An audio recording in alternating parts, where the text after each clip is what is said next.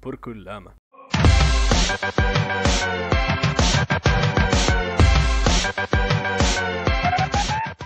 Porco lama a tutti ragazzi, eccoci qua oggi con un nuovo incredibile video, ma oggi è per davvero incredibile ragazzi perché abbiamo in anteprima il gameplay su una delle nuove mappe del nuovo DLC eh, di Call of Duty Black Ops 3 che sta per uscire in questi giorni. E in realtà non abbiamo un solo gameplay, ma ne abbiamo ben quattro, perché abbiamo uno per ogni mappa. Quindi da stasera vi porterò appunto questo qua che è sulla mappa Verge, poi domani knockout e così via. Vediamo ragazzi per questi quattro giorni, vediamo tutte quante le nuove mappe ragazzi, perché mi è stata data l'incredibile opportunità di eh, andare a Londra in esclusiva per provare questo nuovo DLC. Eravamo io, Ron e Gabbo. E ragazzi, mh, può essere anche una boiata, però eh, al di là del fatto che il gameplay comunque lo state già vedendo, contate che erano le prime partite che facevo, è stata la prima e la seconda partita mi pare. Eh, eravamo in LAN, giocavamo in LAN, quindi bisognava un pochino abituarsi mh, a tutto in generale. Però eh, parlerò comunque adesso nel resto del video, ovviamente della mappa, eh, di questa mappa in particolare, che ripeto è Verge, che sarebbe una sorta di remake di una mappa vecchia di Call of Duty World at War che era presente in un DLC. Comunque ragazzi, eh, ripeto, voglio sprecare poi i primi minuti per eh, ringraziare tutti perché per quanto possa sembrare una cosa stupida, mh, io non, mai, non, ero mai stato invitato a nessuno di questi eventi. E dato che ho un canale dal 2008, faccio solo video di Call of Duty, dico, eh, è stato, non dico un traguardo, perché ogni volta mi, mi sembra brutto buttarla così sui,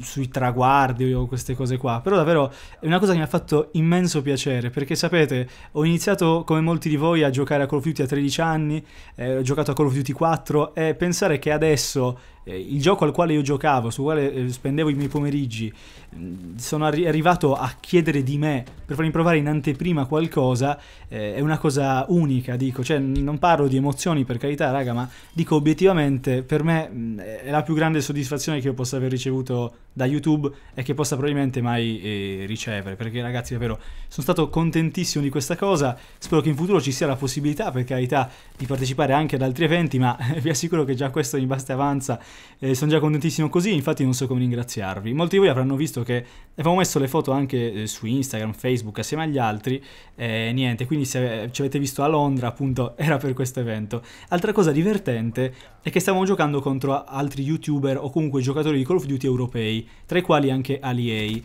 Eh, Aliei lo riconoscerete perché il nome in gioco, quando apro qualche volta la scoreboard, eh, scusate, la scoreboard, ehm, si chiama Zeus, perché ci hanno dato delle PlayStation con dei nomi eh, degli dei, così, cioè ogni persona aveva un nome random. Eh, io mi chiamavo Ares, ragazzi, ero un cane da guerra, arrabbiato, il dio della guerra. No, ragazzi, non ho inteso nessuna bestemmia in questo cane da guerra, lo sapete perché io dico sempre cane randagio.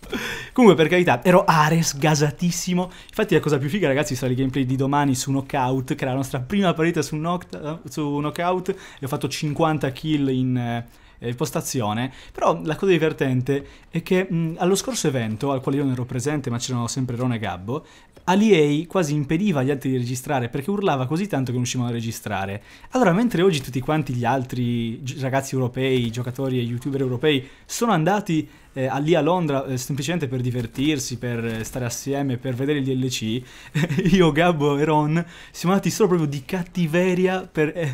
per non far fare gameplay ad Aliei praticamente, per vendicarci del, del, dell'ultima volta di ciò che era accaduto. E quindi voi, mm, adesso per carità in questo gameplay non potete vederlo, eh, perché sono tipo due partite mischiate queste, però dovevate vedere che ogni volta che capitava contro di noi andava in negativo, allora cambiava squadra e veniva da noi. Era, è stato fantastico. Non urlava tanto, non si faceva tanto il forte, non, eh, non aveva motivo per fortuna, però eh, ecco un'altra cosa che comunque è bravino, eh, per carità. Per quando veniva in squadra con noi, mh, pur tralasciando il fatto che comunque camperasse eh, a fondo mappa o ai lati della mappa con un fucile d'assalto e usasse poi il talon guidato per la mappa per fare le kill, però ciò non toglie che comunque fosse abbastanza bravino, ecco, diciamo che pensavo fosse un poco più scarso. Poi c'erano un paio di giocatori forti perché Mm,